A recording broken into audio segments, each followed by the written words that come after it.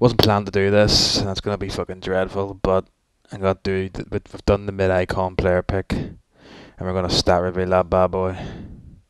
Uh, do I think it's worth it? Absolutely not. Do I think it's gonna be good? Absolutely not. Am I gonna be disappointed? Probably. But at least I know I'm in for a shit time. Anyway. Three, two, one. Alright, first one. I think I only own one mid. Wait, what? Oh yeah, that's a stupid pack now, isn't it? Right, let's go.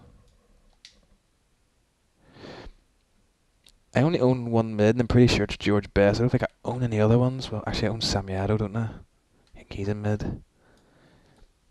Physical 80. Defending. I got Battlefield. This is shit already. Yeah, this is gonna be a bad one. It's gonna be a bad one, isn't it? What's it, Paul Scholes or something? No, it can't be Paul Scholes, actually. What am I talking about? I don't know who the hell this is. L, oh, right away. What was saying? L. Has to be an L.